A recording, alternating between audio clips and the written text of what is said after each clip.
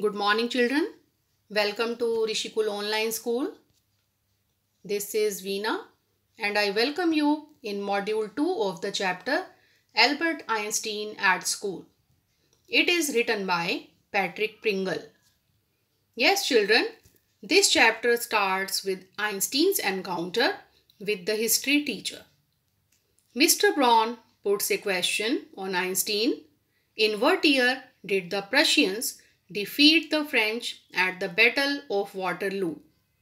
But Einstein did not know the answer. So an argument takes place between him and his history teacher.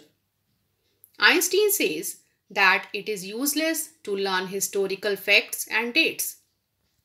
On being provoked by Mr. Braun, Einstein further propounds his views on education. He says that it is important to know why rather than what and when. At this statement, Mr. Braun gets annoyed and scolds Einstein on his radical views on education.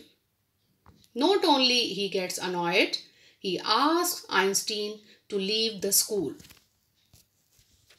After this incident in class, Einstein loses his interest in school. He gets extremely miserable and disturbed. As he has not anyone to share his feelings, he shares his thoughts with Yuri, his only friend in Munich. I hope this is clear to you. Thank you.